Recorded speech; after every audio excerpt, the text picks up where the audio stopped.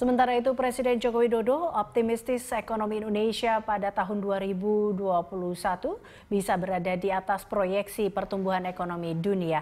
Hal ini sejalan dengan sejumlah lembaga keuangan internasional yang memproyeksikan Indonesia menjadi salah satu negara dengan pemulihan ekonomi tercepat setelah Tiongkok pasca pandemi COVID-19.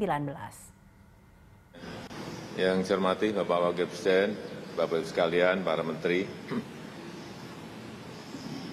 Pagi hari ini akan dibahas mengenai rancangan postur anggaran pendapatan dan belanja negara tahun 2021.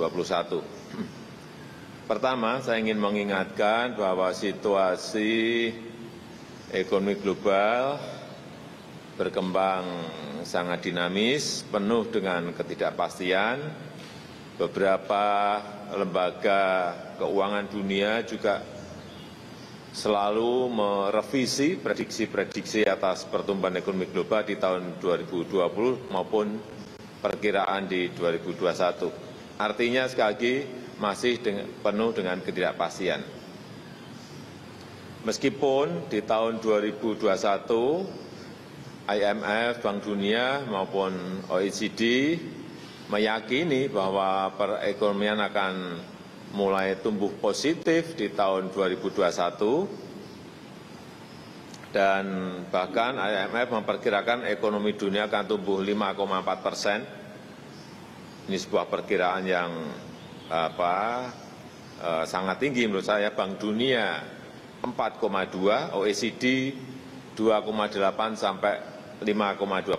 Saya kira kalau perkiraan ini betul, kita akan berada uh, ekonomi yang juga mestinya itu di atas pertumbuhan ekonomi dunia. Dan uh, Indonesia juga diproyeksikan masuk ke kelompok dengan pemulihan ekonomi tercepat setelah Tiongkok. Ini juga kalau proyeksi ini benar, saya kira patut kita syukuri.